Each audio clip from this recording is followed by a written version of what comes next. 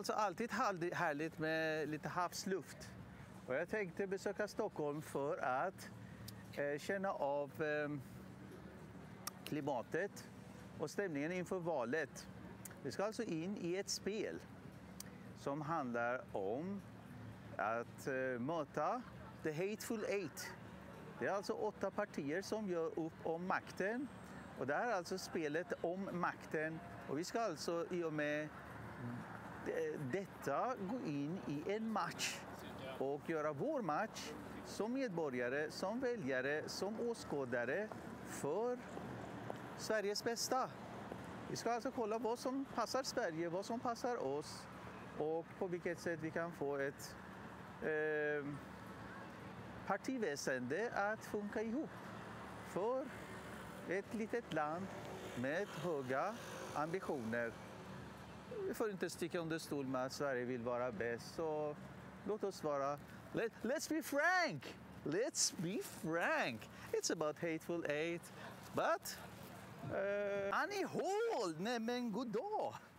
Jo, vad står det här då? Klimatet kräver uh, vår handlingskraft. You know what, Annie? Clarice? The last thing he said was, it was all business. Don't take it personal. Men eh, frågan är om eh, det inte är personligt i det här fallet. Alltså, jag tycker att den, den, den, eh, den här bilden föreställer ändå en personlig betraktelse av politiken, framtiden, samhället. Den här bilden blickar ut mot Mälarstrand, alltså i Strandvägen, svenska flaggan och sen då den här falliska visionen Eh, två obelisker med dels en grön, röd ådra som går upp, spinals, och sen har vi då en, en blå och så en gul vid sidan om. Tänk vad bra man har kombinerat de iranska och svenska färgerna. För att inte tala om de svenska och romerska färgerna.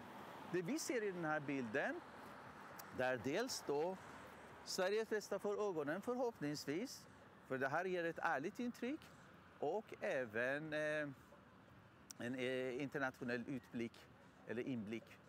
Um, ja, jag tror nog att businessen i ditt fall handlar nog mest om att få in eh, Magda in i eh, regeringskansliet. Socialdemokraterna behöver nog mest en eh, valseger för att för första gången i svensk historia, partihistoria, valhistoria ha en kvinnlig segrare som av egen kraft vinner ett val. Och jag tror nog att de kommer att bli beroende av dina väljare och dina röster för att få in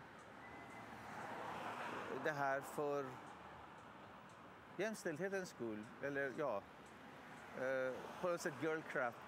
Sen vill jag också säga en annan sak och det är det att apropå den där iranska kopplingen att vi ser alltså eh, blågröna ögon.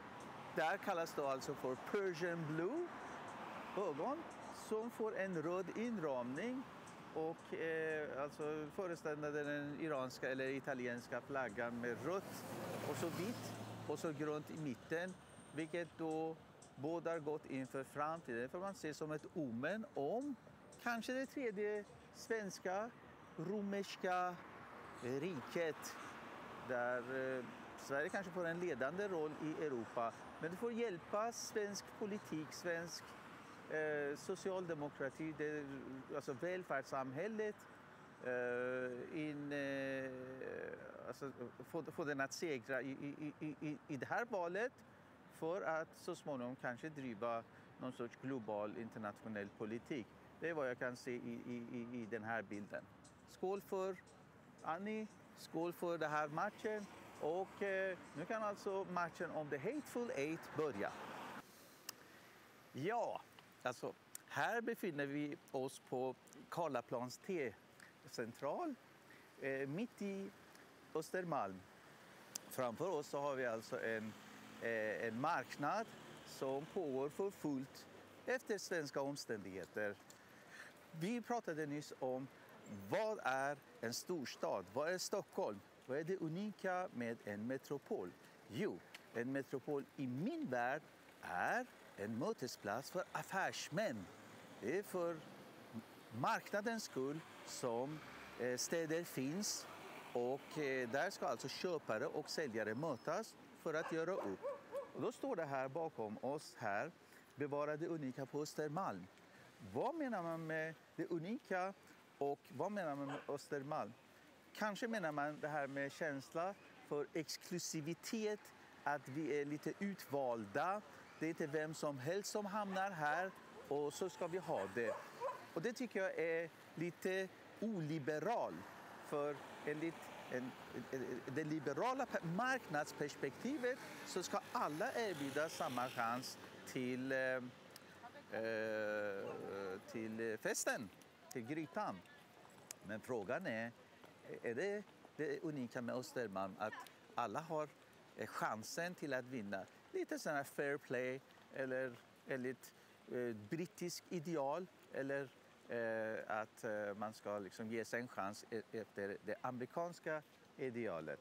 Sen står det här då, därunder så står det ett första jobb är vägen till integration. Eh, Stockholm för, eh, rösta för Stockholms bästa. Okej, okay, då är liksom frågan, vad är det bästa, första bästa jobb? Ska man ta det första bästa eller ska man ta det bästa jobbet från början? Ska man vara amerikan, det vill säga skjuta först och fråga sen och skjuta sig fram, alltså trial and error tills det sitter och tappa en massa tid och göra bort sig och så där. En, eh, en sån guppig väg, mycket bump och så där. Eller om man ska vara som en japan, det vill säga en samuraj, lång planeringstid, bida sin tid och sen slå för den här stora katten och, och eh, göra ett eh, riktigt bra jobb och, och eh, göra klart jobbet. Så det, eh, där har vi också en sån här reklam som är tvetydig. Det kan tolkas på väldigt många olika sätt. Och liksom första jobb, a hitman. Ska man se det som ett jobb? Ja, vi bryter här. Jag tycker att de, de alltså, ja, det, det, det, det, här kan alltså gå våldsamt till här i Stockholm ska jag tala om för dig. Ja, alltså nu står jag alltså äh, återigen utanför Karlaplans T-banestation. Och vid ingången så har vi alltså ett plakat föreställande Fredrik Kärrholm. Tidigare polis, master i kriminologi. En, eh, och idag vd för ett säkerhetsföretag. Det är lite sån criminal mind över det hela. Han måste alltså förstå de kriminella för att gripa dem. Nå, vad vill han få sagt? Jo, han menar alltså att gängkriminella ska låsas in för att skydda barnen. Det är klart att gängkriminella ska eh, eh, eh låsas in överhuvudtaget. Det är inte bara barnen, utan jag, hur skulle jag kunna försvara mig? Så jag tycker att det här är alltså är typisk plakatpolitik. Sen vill han själv göra en affär, ett nummer av eh, sin tidigare kunskap. Ungefär som att eh, stridspiloter blir Eh, piloter inom civilflyg och eh, att eh, tidigare soldater blir krigsentreprenörer. Och det är samma sak här, att han från polis, kanske låga löner eller liknande obekvämt, har då eh, gått upp sig och, och eh, tagit en master i kriminologi och är då just en entreprenör inom säkerhetsbranschen. Så nog ligger det väldigt mycket i just det han säger, det vill säga säkerhetsföretagen och gängkriminella, de driver varandra och vi, vi lever liksom i ett övervakningssamhälle, bevakningssamhälle där säkerhetsbranschen har kanske intresse av att gängkriminaliteten frodas. Men kanske upp till en viss nivå tills det inte stör affärerna. För det är ju återigen fråga om en moderat eh, politik där så att säga, vi får någon sorts intressekonflikt mellan å ena sidan en bransch som vill växa, säkerhetsbranschen. Det är en oerhört växande bransch och samtidigt då att folk ska eh, känna sig trygga och inte övervakade och bevakade för just kriminalitetens skull. Så det är alltså och, återigen en väldigt het och eh, tveeggad eh, fråga. Hur ska vi ha det? Ska vi ha mer bevakning för, eh, för de kriminellas skull? Eller ska vi eh, försöka bekämpa gängkriminaliteten så att den överhuvudtaget inte får uppstå. Så att jag, jag ställer mig fortfarande frå, frågande inför det här. De vill alltså bekämpa eh, eh, symptomen snarare än att bekämpa orsakerna. Eh, ja. Vi går vidare. Eh. Ja, Vad säger er? en milf liksom. Milt. Milf. Milf! Ja. Ja, okej. Ja, hon, precis. Varken oskuldskontroller eller tvångsäktenskap vill, han, vill hon ha. Så uppenbarligen vänder hon sig till en eh, invandrad befolkning, eller hur? Alla former av hedersförtryck måste bekämpas. Och jag tycker att det är milfen som säger så. Ja. Så att hon vill alltså skydda milfarna Ja. mot, mot hedersvåld och oskuldskontroll. Hon vill inte ha någon oskuldskontroll för sig själv. ja. Det, det är alltså din bestämda uppfattning. Att hon Yes. talar i sin egen sak. Yes. Det, Det- det, det- hon är bra. med om något liksom. Förlåt? Tror hon har varit med om något som har gjort det här liksom. Det, det kan hända! Exakt. Där har du Paulina Brandberg. Hörru, åklagare och riksdagskandidat. Ja. Precis. How come att du är så engagerad i de frågorna? Har du själv varit med om något liknande i din, dina unga år? Det kan vi aldrig veta. Det är ju liksom, återigen, det är en sån här, eh, vad är det, sån här Widerberg, eller nej, en sån här dansk film. Eh, ja, när jag var 13 år så hände det Tack så där. mycket. Men, Det är bra. Vi säger så. Yes. Ja, så att eh, det är återigen en öppen fråga.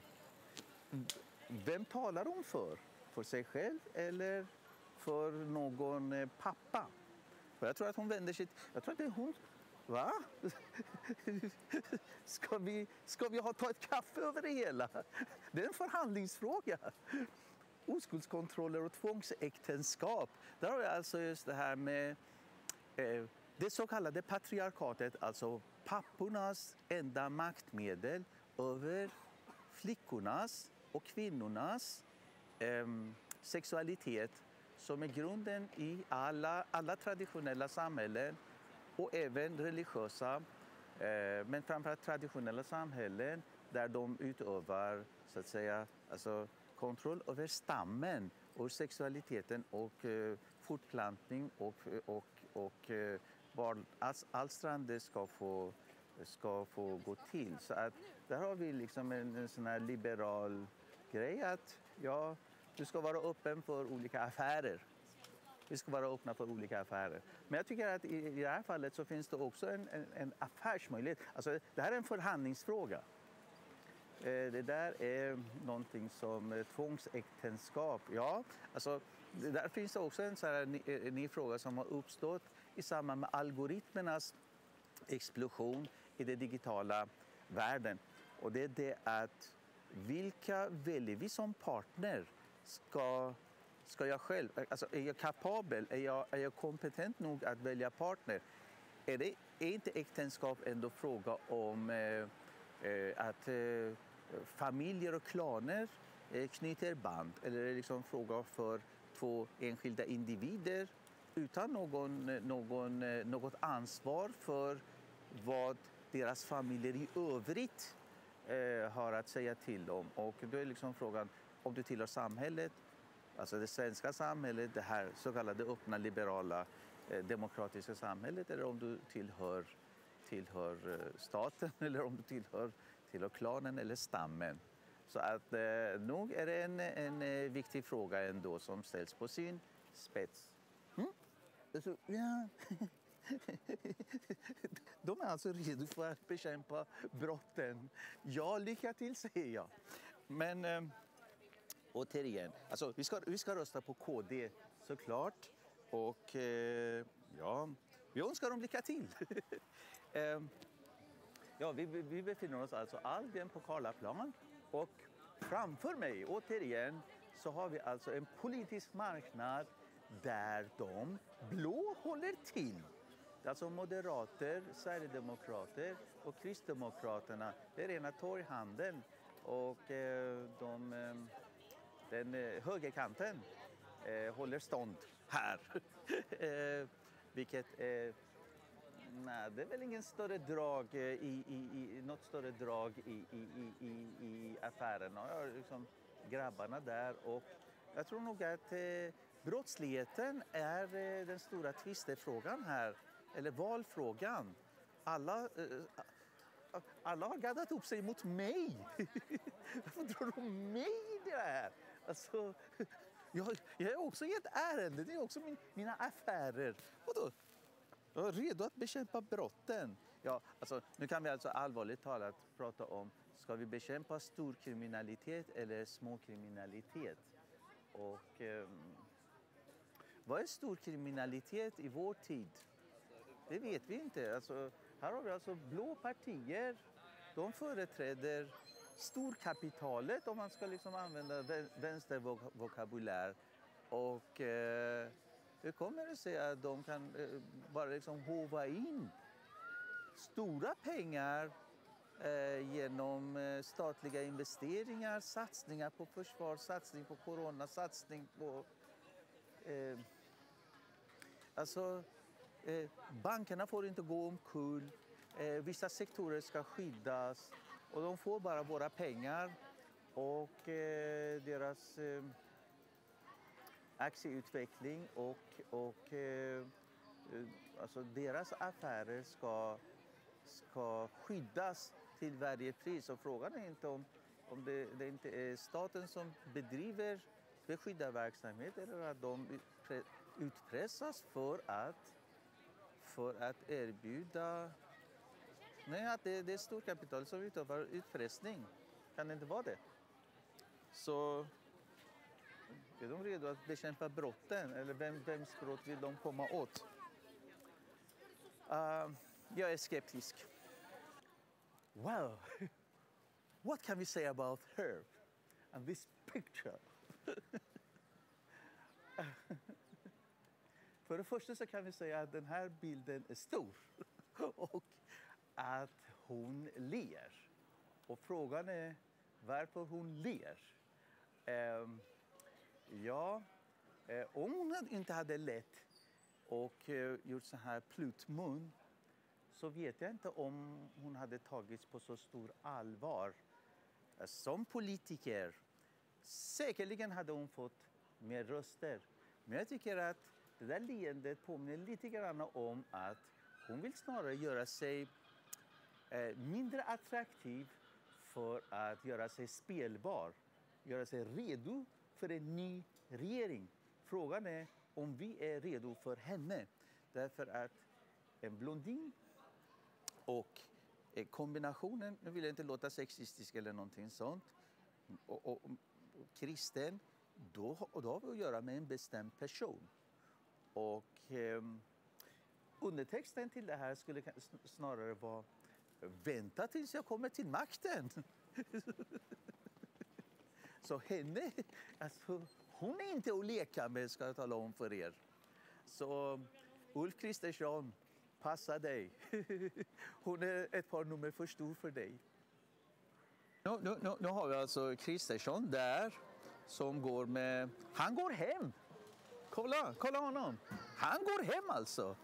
Med kassen och hunden och Uh, arbetarskor har han på sig och utan slips. Han går hem utan slips. En annan som försöker gå hem med slips det är Anders Ygeman. Han menar då att Stockholm kan bättre. Klart att Stockholm kan bättre. Och nu, nu är vi alltså inne på arbetaren. Det, det, är alltså två slags arbetare. Röda laget, blå laget. Och eh, eh, Antagligen så tror jag nog att eh, om man ska ta, om man ska ta eh, eh och, och, dra sossarna in i, i, i den här bilden så ska de nog stå för striden. Det är återigen, Stockholm kan bättre, men bättre på vad? Vad, vad ska man bra, bli bra på? Antagligen så ska sossarna verka för att föra Stockholm till den högsta klassen, den högsta divisionen. Ehm, alltså, eh, Sverige vill vara bäst i världen och det är det som är socialdemokratins yttersta uppgift. Så om vi ska liksom ge Ygeman ett uppdrag i ett arbetarsamhälle, i ett arbetande samhälle som jobbar mot hög klass, då ska det inte bara handla om att eh, dra ut barn eh, ur gängen utan få hela Sverige ur denna dvalan och in i en business class skulle jag vilja påstå. För vad, vad är socialdemokratins yttersta uppdrag? Jo, att skapa förutsättningar för ett samhälle att öka sin välfärd och öka sitt välstånd och skapa sysselsättning och jobb och det med kunskap. Så eh, nog eh, skulle eh, alla partier må bra av att verka för ett eh, högre klass. Alltså, Kristersson, han skulle alltså han, han, han skulle alltså få ordning på Sverige. Det, alltså alla, alla, alla tänker på, alla, på de kriminella. Men jag tycker att det är kriminellt att inte verka för, eh, för, ett, eh, för en högre klass och att skapa en, en, en, en, en, en världsmarknad för just det som har klass. Sverige ska stå för kvalitet. Och jag tror nog att om det är både sossar och moderater överens så att här ska vi liksom inte söka polemik. Det är som jag sa om eh, Kristersson, Sverige är ett litet land. Det finns inte liksom tid och plats för den sortens käbbel. Vi ska visa klass. Skål för Sverige. Värdig vård för äldre, Desiree. Dags för fler vårdplatser. Sjukvården ska styras av staten. Värdig vård för äldre. Dags för fler vårdplatser. Ja, men kom igen nu, ge er. Det är valfläsk, det är KD. De kör hårt. Det är vårt parti. Ja. Alltså, är det inte det, det, det vi pratar om, just det här med behovet av att bäddas ner? Alltså, tidigare så var eh, eh, tävlade partierna om eh, hur vi kan stävja våldskapitalet. Nu är det fråga om hur vi kan ta hand om vårdkapitalet. Så helt plötsligt har vi alltså kommit in i Stockholms undre värld. Och där pratas det alltså om, ja det är KD och så lite Center. Ja, eh, eh, precis. Upper class, lower class. Lite så. Alltså det som var stort med Stockholm när vi, var, när vi gick på gymnasiet, det var att det fanns en mystik där, att det fanns liksom en magi. Och det var T-banan, det var videon och det var, det var Motorsågsmassaker och det var Warriors. Och det var liksom den sortens, liksom just det här med att allting var så ruggigt och, och, och ruskigt och hemskt och så härligt.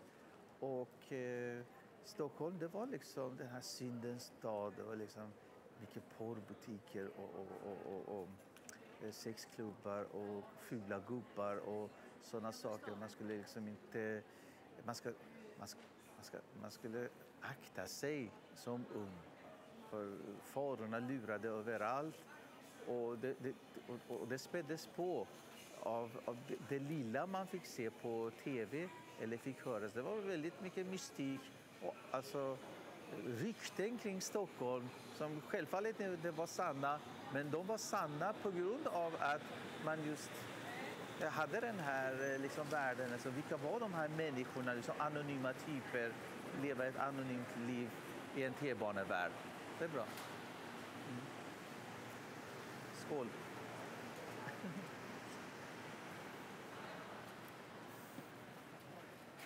Tjena!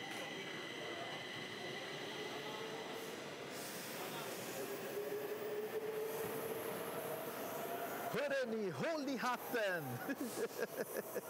Och nu kommer du att åka av. Jo, ni. Alltså, det, det, nu, nu, blåser det nya vindar, eh, ska ni, eh, ska ni veta, här nere i T-banestation. Så, tjenare! Hej! Allt bra med dig? Kul att se dig! Eh, var var vi någonstans? Du, du, får, du får klippa lite. Jo, eh, här framför mig så står det om Sagan om ringen och maktens ringar. Och eh, nu har vi maktens vindar. Och eh, enligt den så ska eh, Sverige bli bra igen. Okej, okay, det får vi verkligen hoppas. Eh, eh, alltså det här med håll i hatten, håll, håll, i kepsen ska jag tala om. Alltså just det här att, tänk om jag, om, om jag hade liksom en sån här eh, eh Trump-keps Och sen hårda straff för kriminella. Ja, en sån här enkel, enkel flyg till Bagdad, Kabul, eh, Mogadishu, eh, ma, alltså Marrakesh, I don't know, anywhere. Så ja, det kallar de för, alltså det är också så här tvegat, hårda straff för kriminella, det vill säga de ska åka flyg. de är så här jetsättare, vilket då innebär att de kanske vänder sig också till det Eh, alltså eh, storkriminaliteten och inte bara storkriminaliteten, eller småkriminaliteten. Så både de stora och de små ska straffas. Så att på så sätt så tycker jag att eh, alltså, det är härligt med ironi och eh, mångbottnade eh, budskap. Jag tror nog att här handlar det alltså om att bräcka varandra i just eh, sagan, i eh, narrativet men också hur man kan liksom få orden att betyda olika saker. Och sen då just det här att eh, om vi tittar på bilderna igen, alltså just det här med att det ska, alltså de har liksom strukit över bra igen. Hårda ska det vara, liksom, använt överstrykspennan. Frågan är liksom om folk verkligen lägger märke till just de här detaljerna. För djävulen ligger alltid i detaljerna. Nu har alltså kommit en, eh, ett tåg från Farsta strand och eh, som sagt var, vi siktar mot eh, sagan om maktens vindar, vart den blåser. Men alltså, just nu så var vi med om en eh, stor match mellan Everton och Liverpool mot det blå och mot det röda. Det slutade i dött lopp. Men eh, vi kunde alltså konstatera att Everton vann en poäng och Liverpool förlorade två. Och nu ska vi alltså rikta oss, alltså eh, eh, resa mot, uppåt mot det röda laget och fråga oss liksom hur det mås på, på, eh, hos det lägret. Stay in touch!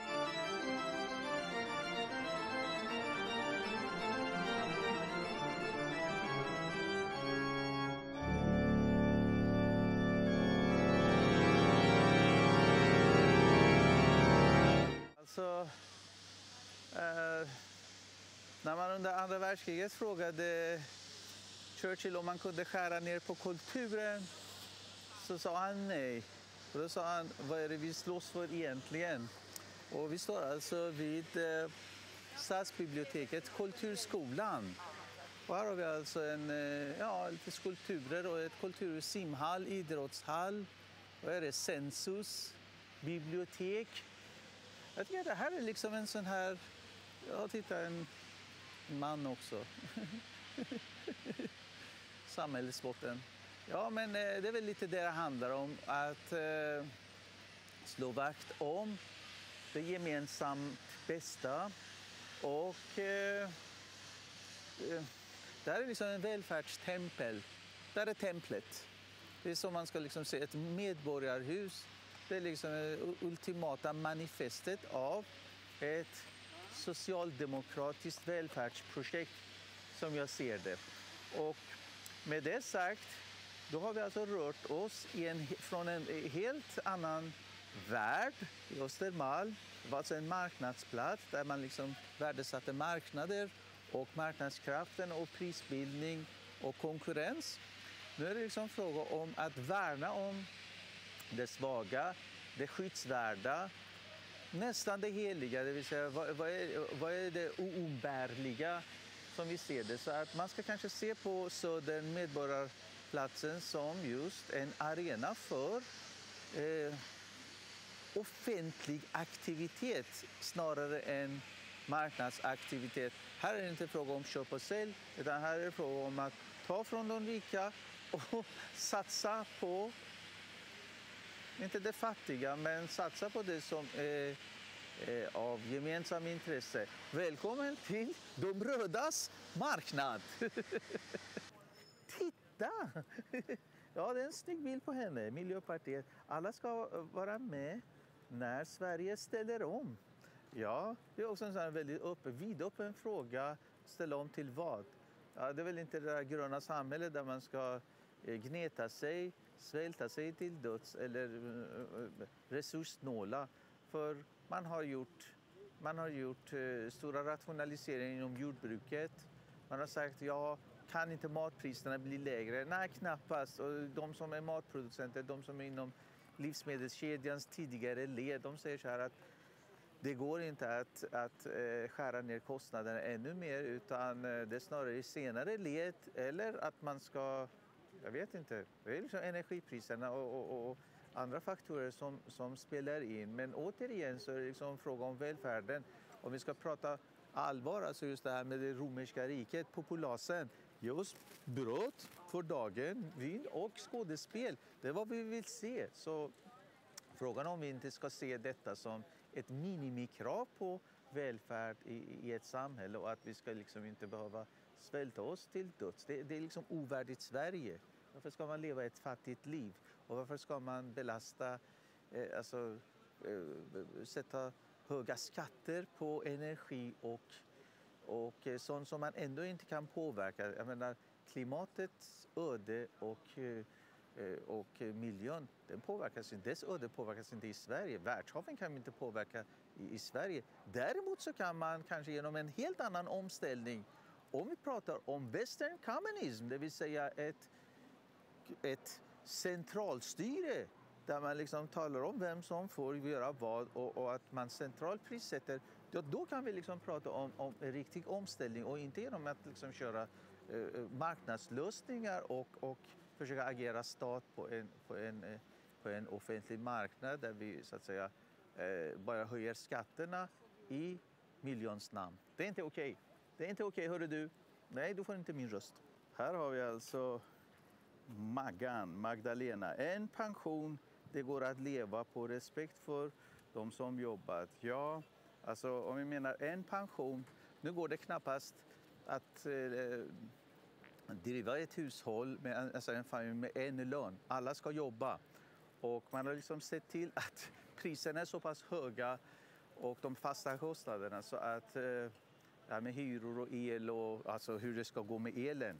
Alltså pensionerna, det är många pensionärer som lever i sina hus och, och, och eh, mycket av den här valrörelsen handlar om hur eh, folk ska få kompensation för de höga elräkningar som kommer att ske som kommer att eh, dimpa in nu i höst. Så respekt för de som jobbat, ja verkligen.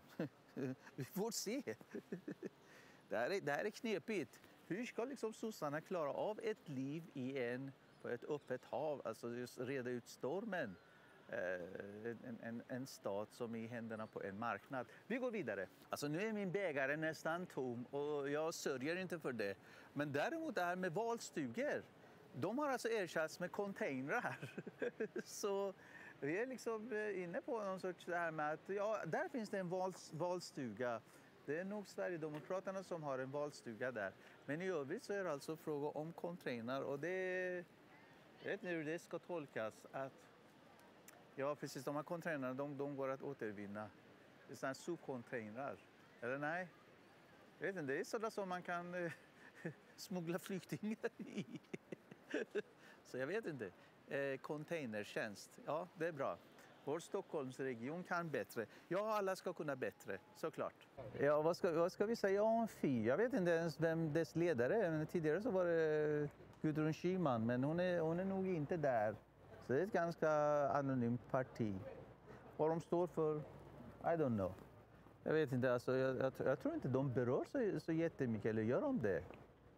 Eh, nej, de, de stod för när jag träffade Gudrun Schyman, hon sålde en bok och, och, det var en sån här tecknad.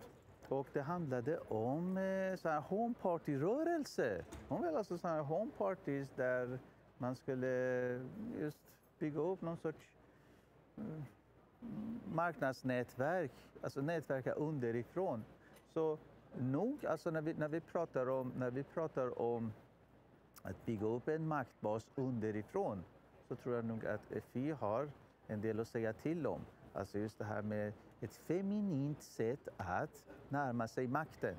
Det vill säga, vi är många, våra röster räknas.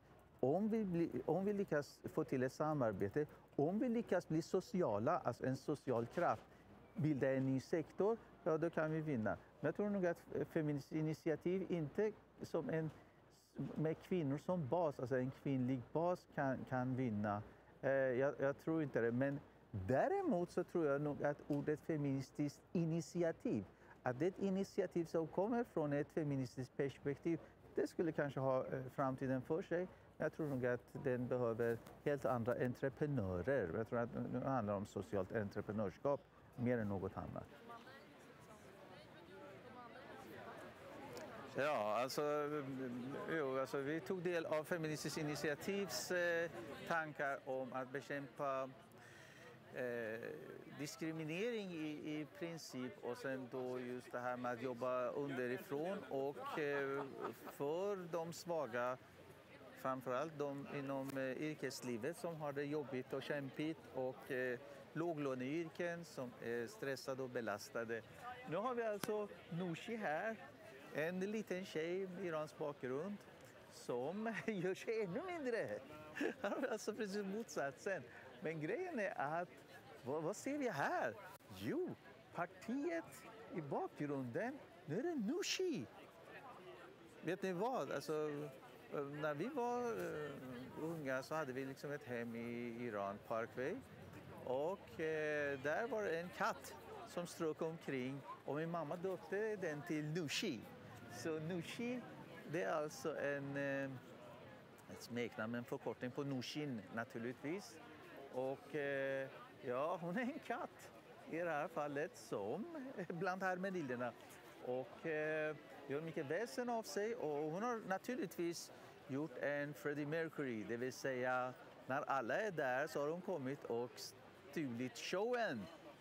Och eh, det ska hon ha kredd för. Jag vet inte vilka som ligger bakom den här affischeringen men helt klart så är det liksom lite grann slaget om Stalingrad, det vill säga just ta hand om alla hårt, alltså die hard uh, vänsterväljare att här har ni liksom the real thing.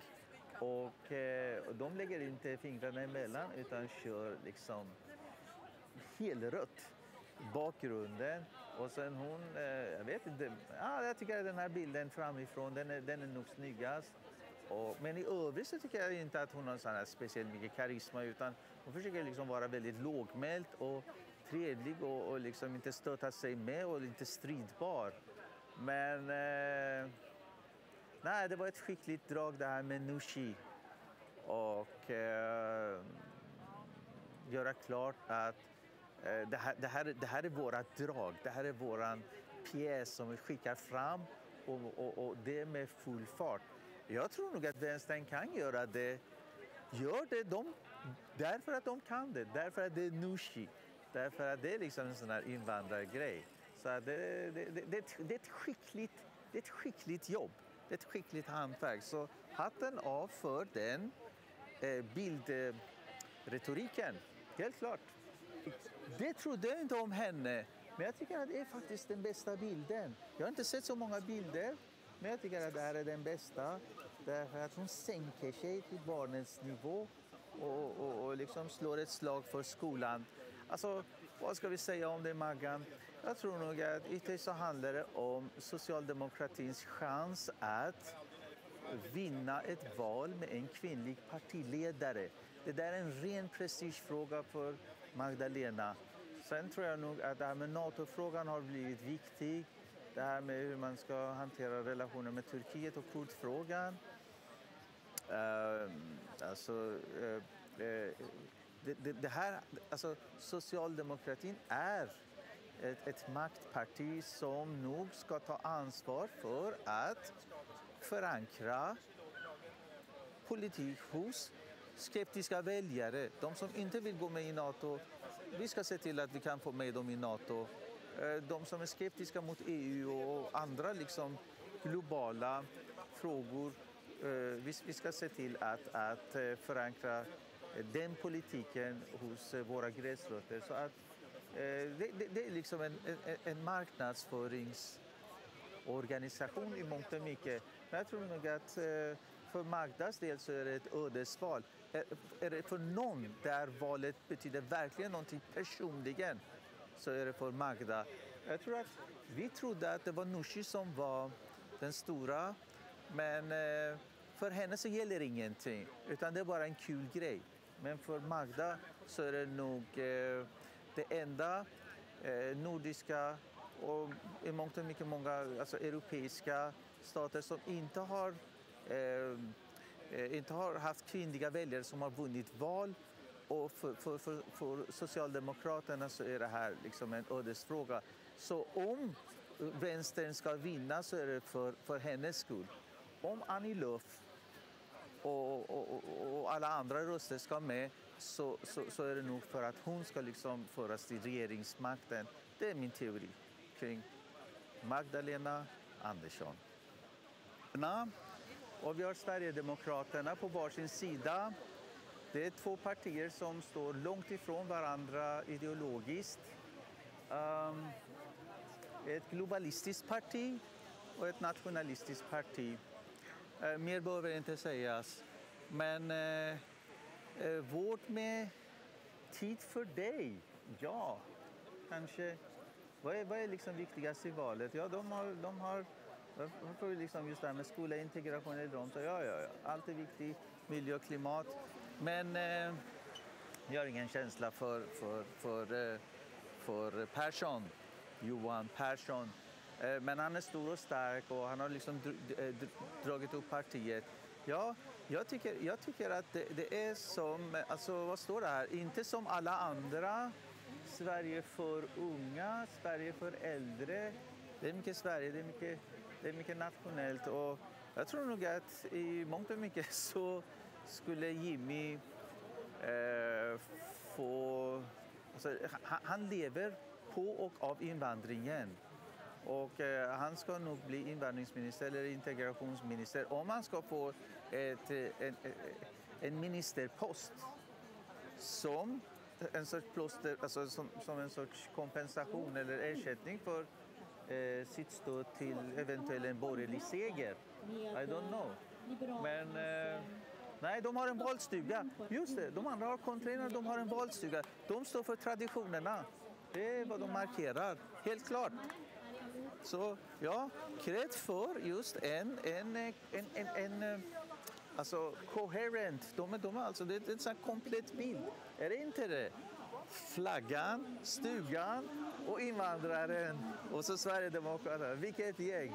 Skål för Sverige! Ja, alltså vad, vad säger om Piratpartiet? De har liksom ingenting. Sjösätt in i politik. That's it. Hon är liksom fed up. Och så är du också en pirat. Ja, det skulle man faktiskt kunna säga. Jag är en sån här mitraist. Och mitraismen fördes in i eh, romarriket just eh, med bland annat sjöfarten och pirater och så in hos eliten och så blev det en religion. Så vill du ha en ny politik då, då, då, ska man använda sig av piratmetoder.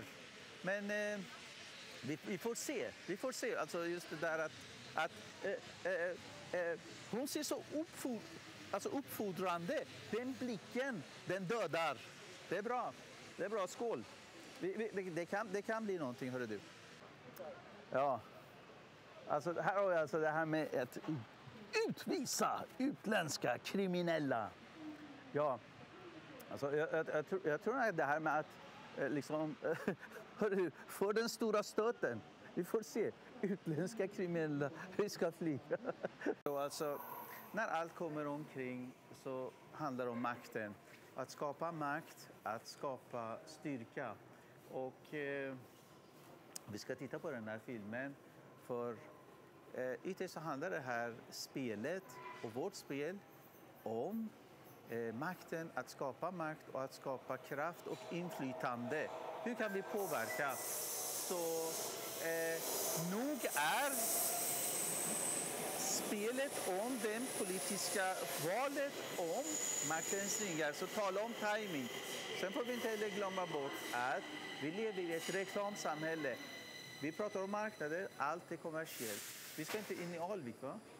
Jo, vi ska åt det hållet. Okej. Okay.